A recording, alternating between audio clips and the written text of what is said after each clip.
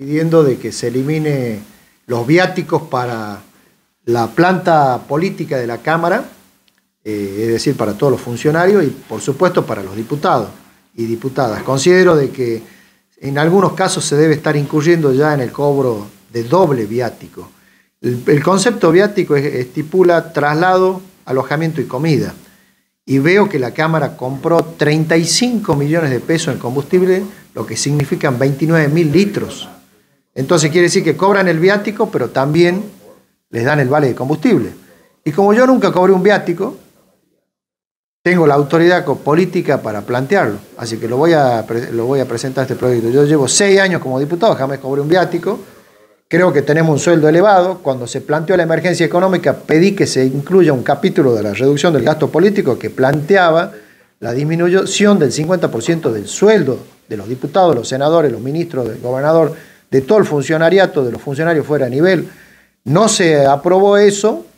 Eh, ahora voy a pedir esto, que se eliminen los viáticos de los diputados y de todos los funcionarios de la Cámara de Diputados. Diputado, eh, toda esta situación se da, eh, usted nos dirá, en base a lo que puede llegar a pasar, porque va a pasar la semana la que viene con el tema del viaje a Santa María y ese interior. El viaje a Santa María lo aprobamos todo porque consideramos que tenemos que estar cerca de los ciudadanos que representamos, que también son ciudadanos del interior, y no va a haber viático, por lo tanto no puede haber combustible, traslado, alojamiento y comida, tiene que pagárselo cada uno de los diputados.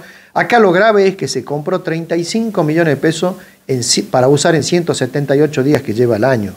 Ayer fueron inconsistentes las explicaciones que dio la diputada Argerich, que dijo que, no se compraron eh, vales de combustible en pesos, eh, por pesos, sino por litro. Y eso es absurdo. El pliego lo desmiente, el pliego de compra, y también ninguna estación de servicio hace el mal negocio de venderte eh, combustible y darte vales en litro, te dan vales en peso. Eh, si no, sería una inversión fenomenal. Por eso yo después dije, expliquen y díganle a la sociedad qué estación de servicio está vendiendo vales en litro, porque puede ser una gran inversión que hasta lo puede sacar de la pobreza a la gente, puede ser una fuente de ingreso. Nadie te va a vender vale, nadie te va a vender vale el litro, todo te venden en peso. Entonces, di las explicaciones, dije, tres camionetas tiene la Cámara, que digan quiénes son los diputados que han utilizado. Porque tiene tres camionetas nomás la Cámara, dividido en 29 eh, mil litros en tres, son 9.666 litros para cada camioneta.